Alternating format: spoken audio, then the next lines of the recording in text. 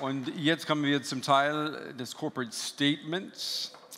Ähm, zuerst ist der Herr Dr. Urs Rügsegger dran, from the Groups and CEO of Six. Herr Dr. Rügsegger, Sie haben das Wort.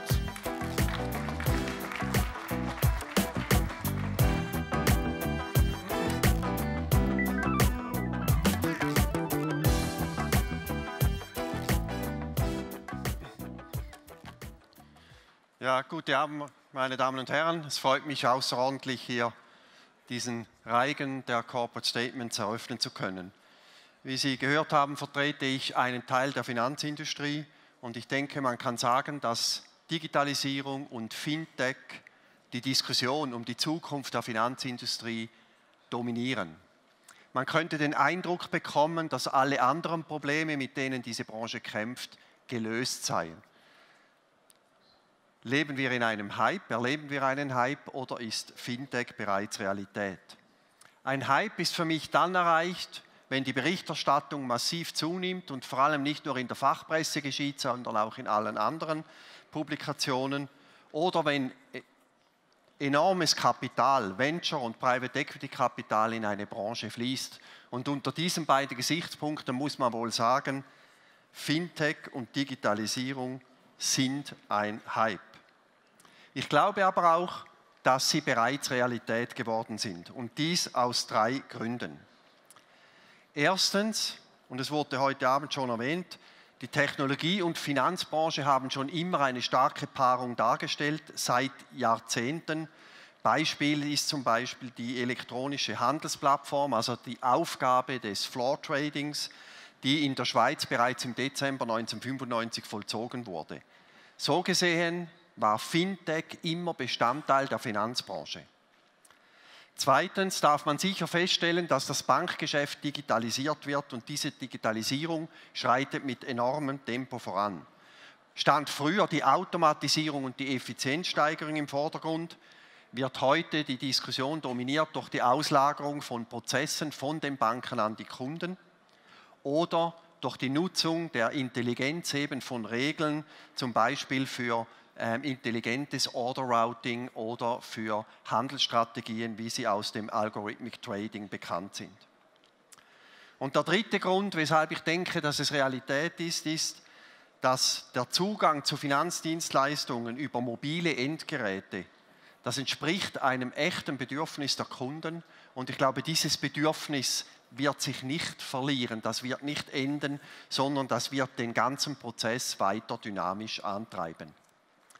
Ist dieser Prozess disruptiv? Ich denke, Disruption ist das zweite große Modewort dieser Tage. Und ich meine, es ist heute schwer zu sagen, wohin diese Entwicklungen gehen werden.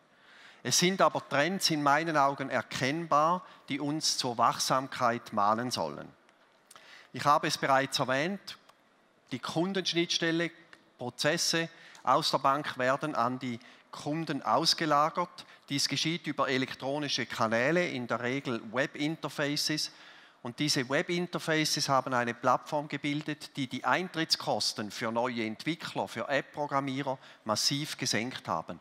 Und ich glaube, diese tiefen Eintrittsbarrieren werden dazu führen, dass sehr viel entwickelt wird, Startups und so weiter. Und die werden eben gerade an der Kundenschnittstelle ansetzen, dort, wo quasi die Musik spielt und wo sich entscheiden wird, wohin die Finanzbranche sich entwickelt. Weiter beobachten wir heute, dass große Technologiefirmen das Finanzthema aufgenommen haben. Sei das, indem sie zum Beispiel Zahlungsprozesse auf mobile Endgeräte bringen oder sei das darin, dass sie selber Bankfunktionen übernehmen. Und last but not least besteht Technologie wie Distributed Ledger, die die Charakteristik haben und das Potenzial mitbringen, Schlüsselprobleme der Finanzbranche der Vergangenheit auf sehr effiziente und effektive Weise zu lösen. Das wird zu Veränderungen führen in der Arbeitsteilung auf den Finanzmärkten. Das wird die Marktarchitektur, wie wir das bezeichnen, fundamental verändern. Es wird sicher Gewinner und Verlierer geben. Six als Infrastrukturprovider steht im Zentrum und ist sozusagen von zwei Seiten gefordert. Zum einen die Veränderungen im eigenen Geschäftsmodell zu absorbieren und zu bewältigen. Stichwort Cyber Security ist bereits gefallen. Es geht aber auch darum, die steigenden Ansprüche unserer Kunden und deren Endkunde als Folge der digitalen Transformation aufnehmen und abbilden zu können. Das braucht große Anstrengungen in die Technologie, um eben die Technologie und deren Vorteile früh zu erkennen. Aber es braucht vor allem etwas anderes und es freut mich außerordentlich, dass Professor Wirth auf diesen Punkt hingewiesen hat. Die Infrastruktur war früher reduziert auf Stabilität und Qualität. Das reicht nicht mehr. Heute braucht es eine weitere Komponente, nämlich Innovation und Erneuerung, aber ohne die alten Tugenden zu gefährden. Ich freue mich auf eine angeregte Diskussion.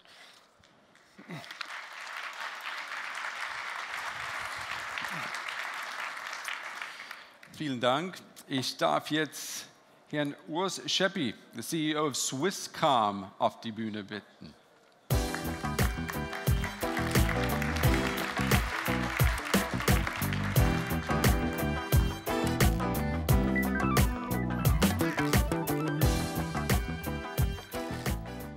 Verehrte Damen und Herren, ich bin jetzt der Erste mit drei PowerPoint-Folien. Und was würde ich gerne tun? Ich würde ganz kurz sagen, was ich unter Digitalisierung verstehe. Zweitens auf die Rolle der Swisscom in dieser Digitalisierung hinweisen. Und drittens, und das scheint mir zentral, auf die Rahmenbedingungen, die es braucht dass man in dieser Digitalisierung eben genau die zweite Spielhälfte gewinnt. Was ist Digitalisierung? Digitalisierung ist viel, viel mehr als einfach ein technisches Thema. Primär verändert es die Geschäftsmodelle. Wir haben Beispiele gehört, Airbnb, Uber, Fintech. Das ist das ganz starke Momentum daran, die Veränderung der Geschäftsmodelle. Auf der anderen Seite für Firmen hat es die ganz große Chance, das Kundenerlebnis zu verbessern. Hier als Stichwort Personalisierung. Ich gebe Ihnen ein Beispiel. Wenn Sie heute Fernsehen schauen, dann haben Sie 250 Sender in der Schweiz. Wie hat man früher Fernsehen geschaut? Durchgezappt. Wenn Sie das heute tun, schauen Sie nie mehr Fernsehen. Und jetzt gibt es Empfehlungsmaschinen und die sagen genau, welcher Inhalt ist für Sie relevant. Und dann können Sie viel zielgerichteter Fernsehen schauen. Also Personalisierung ist eine andere große Chance für die ganze Industrie. Automatisierung, hinlänglich bekannt. Hier das Beispiel 3D-Drucker. Ein 3D-Drucker wird die ganze Produktionsindustrie digitalisieren. Ist eine Sache der Zeit, bis man Häuser druckt und nicht mehr baut. Und dann eben, es gibt ganz neue Formen der Arbeitsgestaltung. Das also Digitalisierung der Rolle der Swisscom, ganz, ganz einfach zusammengefasst. Wir wollen die beste Infrastruktur bauen. Deshalb investieren wir in der Schweiz 1,7 Milliarden jedes Jahr in unsere Infrastrukturen. Wenn Sie das hochrechnen und auch mit unseren ausländischen Engagements, dann investiert die Swisscom 20 Prozent des Umsatzes jährlich in Infrastrukturen. Und das ist der Pfeiler der Strategie der Swisscom.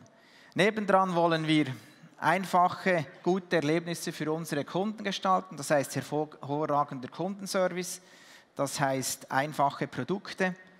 Und drittens, ganz gezielt in neue Wachstumsoptionen investieren, weil eine, eine Unternehmung wie die Swisscom ist auch von einem Wandlungsprozess getrieben. Wir verlieren jedes Jahr, nur um Ihnen ein Beispiel zu geben, über 400 Millionen über Substitution und Preiszerfall. Und das müssen wir über Innovationen kompensieren. So, wenn wir in diesem Umfeld leben, ist jetzt die Frage, was braucht es für Rahmenbedingungen? Und ich spreche jetzt aus der Sicht eines Infrastrukturunternehmens. Erstens, und das steht zu oberst, es braucht Investitionssicherheit oder es braucht Investitionsanreize. Es investiert kein Unternehmen 1,7 Milliarden pro Jahr oder 2,4 über alles, wenn es nicht Sicherheit hat, dass es diese Investitionen amortisieren kann, monetarisieren kann. Also muss das Umfeld, das regulatorische Umfeld so sein, dass eben Infrastrukturwettbewerb entsteht. Da hat die Schweizer Politik eine sehr gute, sehr gute Rahmenbedingungen geschaffen in der Vergangenheit. Viele andere Länder in Europa, die schreien nach Investitionen in die Infrastruktur. Die Schweiz finanziert wegen Investitionswettbewerb alles privat. Also geben wir zu diesen Rahmenbedingungen Sorge. Und hier ein Appell an die Politiker, mach nicht mehr Regulation, sondern weniger. Dann der zweite Punkt, ich habe dem gesagt, License to Play. Wir leben heute in einem globalen Wettbewerb. Was ist der größte Wettbewerber von einem alten, traditionellen Produkt der Telekombranche? Hm? WhatsApp hat SMS verdunstet. Innerhalb von zwei, drei Jahren. So, und jetzt braucht ein, ein traditionelles Unternehmen in diesem Markt braucht Rahmenbedingungen, die gleich sind wie globale Internetfirmen. Und da spreche ich jetzt beispielsweise über Datensicherheit. Klar, Datenschutz muss gewährt sein, aber wir müssen die Möglichkeit haben, mit globalen Playern auf der Datenebene spielen zu können. Und das heißt, es, oder es ist absolut schädlich, wenn, wenn man einen neuen Service bringt und dann in der Öffentlichkeit eine Debatte losgeht über, über irgendwie Daten. Man muss die Daten, die man hat, allen sofort zugänglich machen. Das killt jegliche Innovation. Also wir brauchen Rahmenbedingungen, wo wir mit den globalen Anbietern, und das sind Googles, das sind Facebooks und so weiter, kämpfen können. Und es braucht eine Offenheit, es braucht eine Offenheit der Gesellschaft dafür. Es wurde schon hinlänglich von, von einigen meiner Vorrednern gesagt, es kommt sehr schnell hoch, ja, das ist nicht gut, man macht Angst und so weiter. Und das ist tödlich. Wir brauchen eine, eine Aufbruchstimmung. Jetzt bin ich eben beim letzten Punkt. In der Digitalisierung sind Ökosysteme der Erfolgsmotor. Wir müssen um unsere starken Industrien, die wir haben, und unsere Kompetenzen Ökosysteme aufbauen, weil die Branchengrenzen, die verschmelzen. Ist ein Apple Pay, was ist das? Ist das ein Handyhersteller oder ist das vielleicht ein kleiner Finanzdienstanbieter? Die Grenzen, die verschmelzen und deshalb braucht es Ökosysteme von guten Playern um Hochschulen herum mit der Industrie.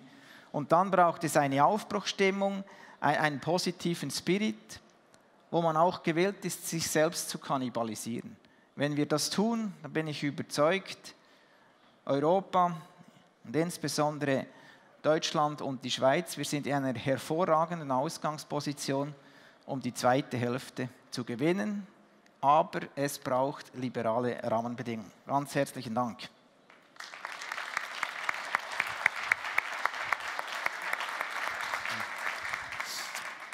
Herr Scheppi, vielen Dank. Ich darf jetzt Samuel Widman auf die Bühne bitten.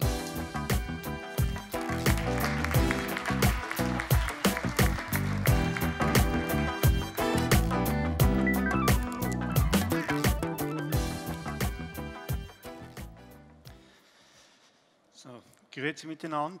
Ich musste erst mal einen Schluck Wasser haben, muss eineinhalb Stunden jetzt da fast sitzen. Ja, es ist mir äh, eine Ehre und ich bin sehr froh, heute hier sein zu dürfen und Ihnen ein wenig über Google in Zürich, also Google in der Schweiz, nicht in den, in den USA, und auch über die Startup-Szene in der Schweiz, sowie auch ein bisschen über mich zu erzählen. Ich äh, bin anders als viele meiner Kollegen, oder ich würde sagen, die meisten meiner Kollegen eigentlich wie die, die Mutter zum Kind gekommen, also ich zu Google. So, das, war, das ist eine ziemlich äh, äh, ungewöhnliche Geschichte. Nämlich äh, wollte ich, oder ich hatte nie die Absicht, äh, jemals für eine amerikanische Firma zu arbeiten oder äh, jemals für Google zu arbeiten. Aber es ist halt so im Leben, es kommt immer anders und anders als man denkt. Und äh, meine Firma wurde 2006 von Google akquiriert. Nun äh, war ich so ziemlich äh, der Einzige, oder beziehungsweise die Firma, um Ihnen das auch noch äh, mitteilen zu können, es ist nicht eine Facebook oder eine WhatsApp oder so, darum eher äh, unbekannt, auch in Deutschland, weil wir haben vor allem B2B-Produkte gemacht. Aber Endoxon ist oder war äh, führend in der digitalen Kartografie, also Technologieführer und auch in der Herstellung von, von diesen Daten, also Geodaten und, und, und so weiter und so fort. Und äh, Google hat das gekauft, vor allem mit der Absicht, nicht die Produkte zu kaufen, sondern die Leute, das Know-how. Und äh, ja, ich war da so ziemlich alleine da in der Firma, der das ein bisschen skeptisch betrachtete. Und Gründe dafür waren, mein, meine Vision war, eine Firma zu haben, eine Firma aufzubauen und zu führen, welche äh, global expandieren kann, die digitalen Karten erstellen kann, eigentlich eine Kopie der, der realen Welt zu machen und damit ein bisschen die Großen zu ärgern. Und in dieser Zeit waren die Großen Google, äh, Microsoft und wie sie alle hießen. Und wir waren schnell und wir waren gut und wir waren innovativ und ich war immer ein bisschen äh, skeptisch, weil ich dachte, wir werden da einfach von, äh, von der Roadmap genommen, wenn wir eine Akquisition haben und können uns dann nicht auf unsere Vision fokussieren, sondern kriegen einen großen Gehaltscheck, was auch schön ist aber man nimmt eigentlich dann die ganze, die ganze Vision weg, also der ganze äh, Sinn, wofür wir jahrelang gearbeitet haben. Nun, weil ich, ich, war, ich war zwar CEO und, und Teilhaber, aber äh, wie will ich, also wenn alle anderen, wenn die Mitarbeiter nicht mitmachen wollen, wie will ich diese Vision alleine verwirklichen? Also habe ich dann irgendwie widerwillens zugestimmt und äh, habe mir dann gesagt, ja, no, dann, dann ist es halt so und äh, habe mir als erstes mal so in, in meiner Agenda das Datum äh, markiert, wenn der letzte Retention-Bonus ausgezahlt wird. Also Retention-Boni sind so, so Zahlungen, die die Firmen machen bei Akquisitionen, um, um das Management oder die wichtigsten Leute an Bord zu halten für eine bestimmte Zeit.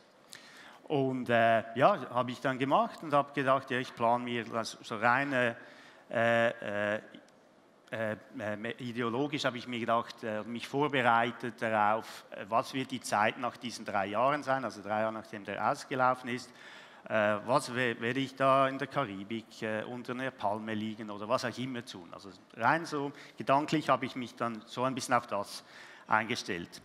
Nun, in der Zwischenzeit aber, wie Sie auch rechnen können, so von 2006 vor Akquisition bis jetzt, sind äh, zehn Jahre vergangen und ich bin immer noch hier, was, was äh, nicht ein Zufall ist, sondern was eigentlich wirklich äh, damit zu tun hat, dass ich äh, jeden Tag zur Arbeit gehe und ich würde sagen, nicht jeden Tag super glücklich bin, aber 90 Prozent der Zeit, wo ich arbeite, fühle ich äh, meine Vision oder meine Tätigkeit völlig, völlig erfüllt. Und äh, auch alle Commitments, die wir gekriegt haben bei dieser Akquisition, also als wir verhandelt haben, wir haben eineinhalb Jahre mit Google verhandelt, weil eben die Schweizer sind ein bisschen langsamer, ein bisschen, ein bisschen äh, konservativer und, und, glauben nicht gerade alles und das braucht halt Zeit. und äh, nichtsdestotrotz haben wir dann das, äh, das verhandelt und abgeschlossen. Und äh, äh, Larry und, und Sergey, also die Gründer von Google, haben immer wirklich äh, betont, sie, sie helfen uns, unsere Vision zu verwirklichen mit allen Mitteln, die sie zur Verfügung haben. Und äh, ja, da, an und dazu habe ich gedacht, ja, das meinen Sie vielleicht jetzt, aber über die Zeit wird sich das ändern. Aber die, die, rückblickend gesehen jetzt äh, ist das wirklich passiert. Also wenn Sie die Nummern anschauen von, von Google früher, also vor zehn Jahren, das waren ein paar Dutzend Millionen, die das brauchten. Heute sind das eine Milliarde äh, User, die das monatlich einmal abrufen.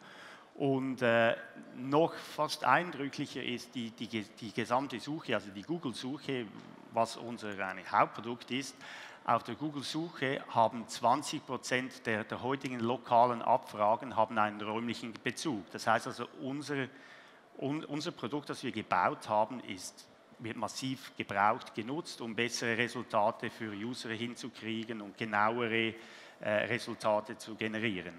Und äh, heute in der mobilen Zeit natürlich erst, erst recht viel mehr, weil äh, 30 Prozent aller Abfragen auf dem Mobiltelefon haben einen räumlichen Bezug. So von dieser äh, Perspektive aus völlig, also eine völlig äh, äh, wirklich befriedigende Arbeit oder wirklich man ist richtig stolz, damit bei zu sein und, und so Usern zu helfen, besser von A nach B oder Dinge zu finden oder, oder Dinge zu suchen und, und das wirklich auf einer äh, täglichen äh, Basis.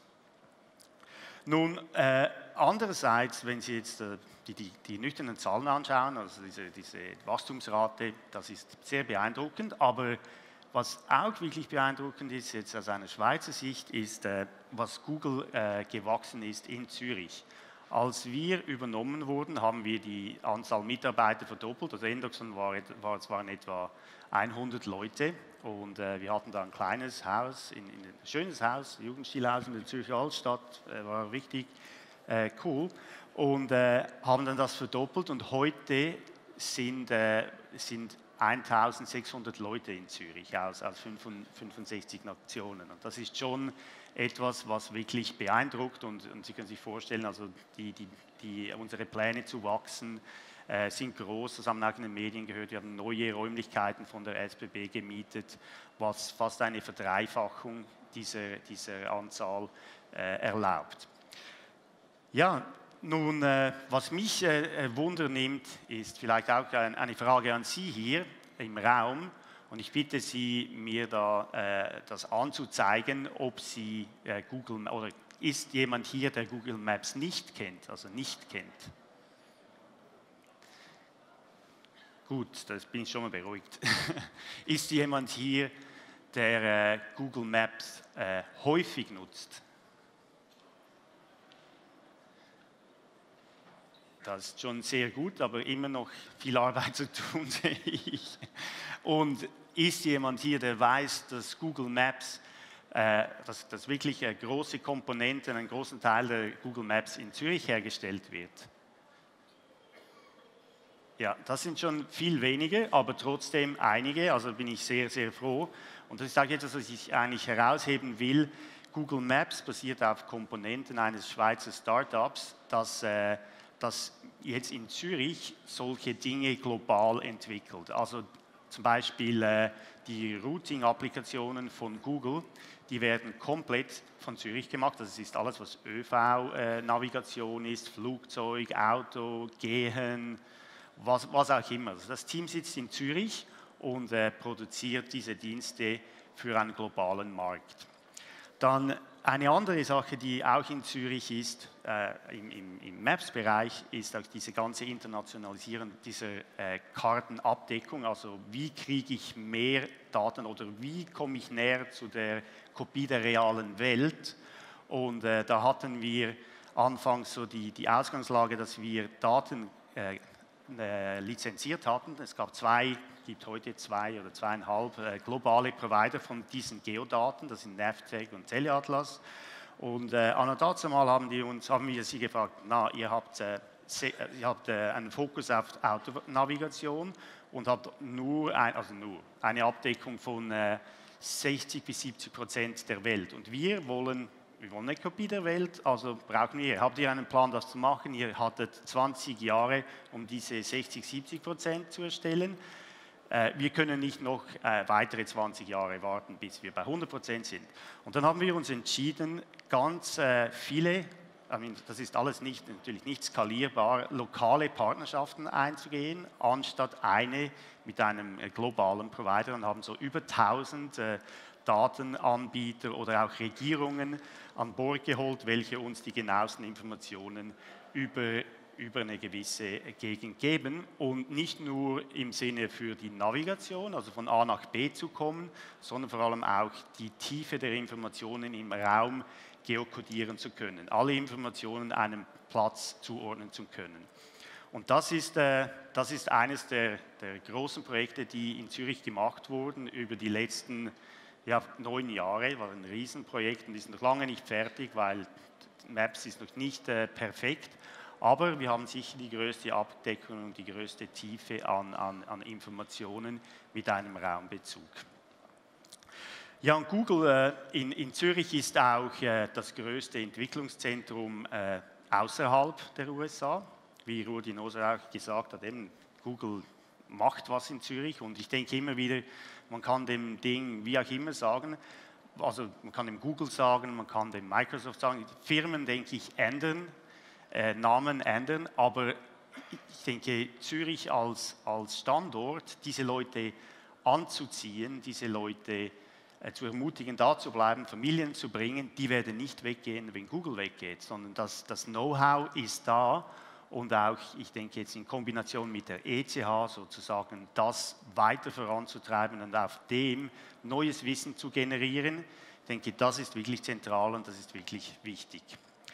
Dann haben wir natürlich auch in Deutschland äh, äh eine große, äh, ein, großes Entwicklungszentrum, das ist in, München, da sind wir auch am Investieren und Aufbauen. Und total in Europa haben wir ungefähr 10.000 Mitarbeiter, also wenn man alles äh, zusammensummiert. Aber größten, das größte Entwicklungszentrum ist Zürich, München ist auch einer der, der großen Hubs.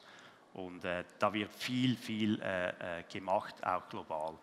Und Zürich hat neben Maps auch andere äh, Bereiche, wo wir tätig sind. Das ist Search, also das klassische Search, die Internationalisierung in all diesen verschiedenen äh, Sprachen, das ist YouTube, das ist Gmail, das sind all diese Ads, also alles das Advertising und, und so weiter und so fort. Und eben, wie gesagt, das, das wächst und, und das wird auch mehr werden. Nun, ja, was, was wir oder was ich im Speziellen jetzt bei, bei Google auch, auch mache, ist, äh, also ich leite den Bereich strategische Partnerschaften weltweit und, und, ich freue mich jetzt schon auf die Zukunft zusammen mit Partnern aus der Wirtschaft und aus der Wissenschaft, also eben Schweizer Großunternehmen, aber auch äh, vor allem KMUs oder eben äh, Startups, diese, mit diesen zusammen neue Dienste zu entwickeln, neue Dienste, welche User sehr gern mögen, welche super relevant sind und, und welche einen, einen, großen Mehrwert auch für, für diese generieren in Zusammenarbeit mit den Partnern.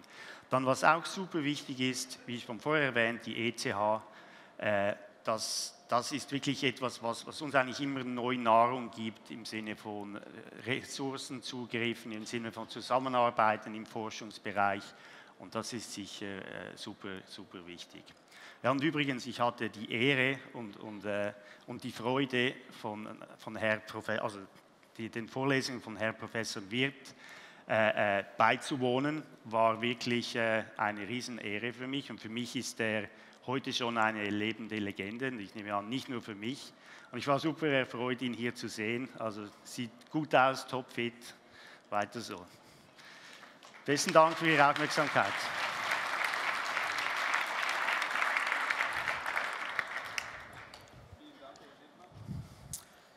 And now our last statement is Jack Ramsey with Accenture, the Senior Managing Director. Mr. Ramsey, you can come up to the stage, please.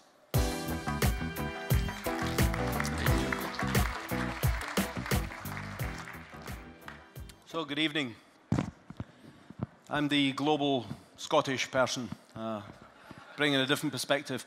Um, I work for Accenture. I've got a global role. We have about 40,000 people engaged in digital delivery globally. I'm running the digital delivery business.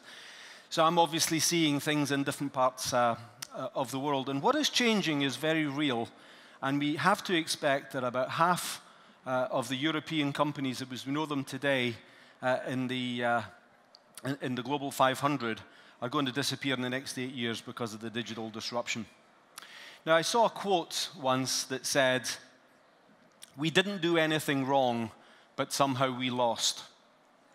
We didn't do anything wrong, but somehow we lost. Now, I'm Scottish, so I assumed that was coming from a Scottish football manager because we don't have the best national team. But it, it actually came from the CEO of Nokia. Now, in 1994, I got my first cell phone, and it was a Nokia. Uh, I replaced it with another Nokia, then a Philips, and then after that, I replaced it with a Siemens, then another Siemens, then a Siemens MDA, uh, and then the BlackBerry arrived, and then it's been iPhone, iPhone, iPhone ever since. And if you look at the speed at which the cell phone, especially the handset industry, moved from Scandinavia to Silicon Valley and the impact that that has had, and how quickly it happened, we need to be very concerned about what's going to happen. Because if we're not careful, uh, we're going to be caught sleeping at the back of the bus. Uh, I think somebody said earlier, we've already lost the first half of the game. And I'll tell you why I say that. If I talk to people in Europe about what's going on, what they talk about is intelligent products. And I've heard a lot of that already today. Uh, we've got smart products, they're going to be connected to the internet, they'll be intelligent, they'll do cool stuff. If you actually go, however, to, say, the States, they don't talk about intelligent products. What they talk about is service design and customer experience. And if you look at Uber, which everybody likes to talk about because everybody's scared of getting Ubered, the product didn't really change. It was still a car of some sort coming to take you from A to B. It didn't really change. Amazon is a retailer, they are nothing more than a retailer. They are the best retailer probably in the world. They're a $260 billion company.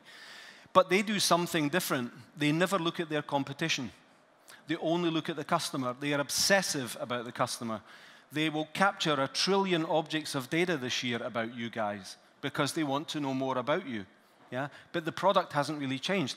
Uh, the, the one that was always hard for me to swallow was the, the Walkman disappearing because Sony owned the recording stars, they owned the distribution. I mean, put your hand up if you had a Walkman. Right, and they had all of you as well. It's just the young guys that didn't put their hand up.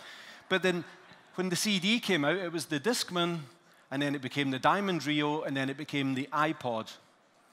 Without the CD, there would never have been the iPod, then the iPad, and the iPhone, and they have changed the world permanently and it's because of an obsession with the user experience and the user design. And this is a challenge in this part of the world because everybody's obsessive about product quality, but we really got to get excessive about the customer experience overall. Because if you only focus on what you're good at today, the challenge that you're going to have is that part of the business may disappear. And I was with an automotive manufacturer. Did somebody bring a sea lion? Thank you. I think we, we, we got to get real on this. I was with an automotive manufacturer recently, and he said, Our products are the best, and I'm not worried about this digital disruption. And I said, Are you not? Well, it's going to change because the automotive industry is going to be massively disrupted.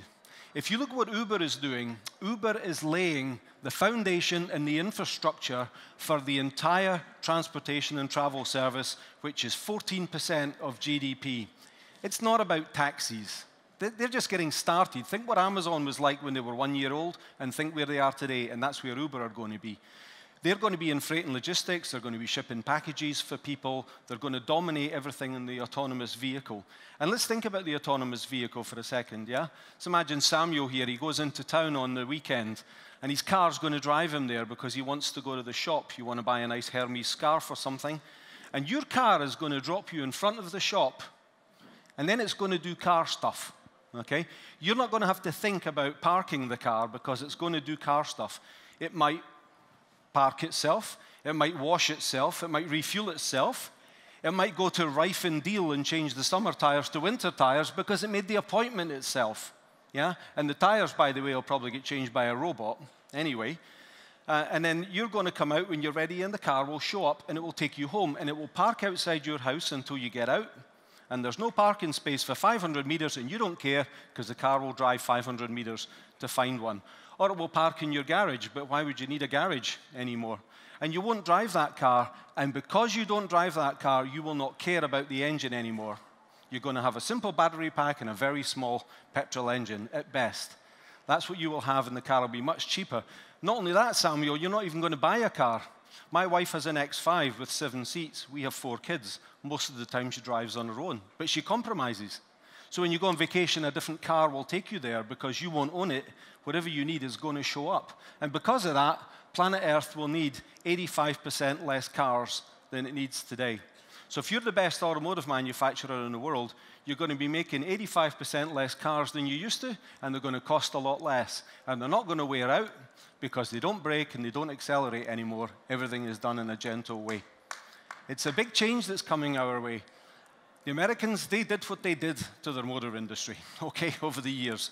But now they're coming back. The Tesla is the most innovative vehicle in the world, and we have to respond to that. It is not an electric car, it is a digital car. So I think we need to be very concerned. But what we must do is start at the basics and say, what is our customer experience? We are here in Germany. Lufthansa is in Germany. You walk into the terminal building, Lufthansa knows you're there because you checked in with your app. Okay? They know the flight is late, they know there is no security, and if they're clever, they will have asked Amazon, what did Jack Ramsey look at but did not buy? And they will get me into a shop where somebody can explain the two or three open questions that I've got. Why do they not do that? They tell me the gate has changed. Several times the gate has changed. I'm 51 years old. I can get on a plane. I will find the gate. It's nice that you're trying to make the, the travel experience better, but you can do other things because you've got my attention this whole time. And every business has to look at when do they talk to customers and how. Now, I think concerning Switzerland, um, Switzerland's a fairly innovative place. Uh, we, we, we've recently been working, Accenture has been working with uh, the ICT, and we've done an in depth piece of work with thousands of man days of SMEs looking at all facets of digital inside Switzerland uh, the, the economy, the business, the culture, uh, regulations in government, manufacturing, and so on. Switzerland's not scoring so high in the digital index for manufacturing, it's kind of red. For Industry 4.0, it's nuclear red. But there are other aspects that are scoring very, very high. And this report is available, or the website is available for you all to go to. It's at digital.ictswitzerland.ch, and it's available now. You can go and have a look because we have to understand. And if you ask any soldier, they will tell you Time spent in reconnaissance is rarely wasted, and I would advise all of you, please take a look at that report because you guys that are in this room are going to be creating the future of Switzerland. You're going to be creating the future of digital. And for all of you, a digital Switzerland is your future. Thank you.